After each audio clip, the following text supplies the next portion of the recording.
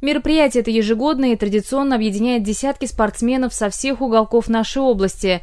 В этот раз в соревнованиях примут участие около 100 теннисистов Саракташского, Акбулакского, Переволодского, Беляевского и Оренбургского районов.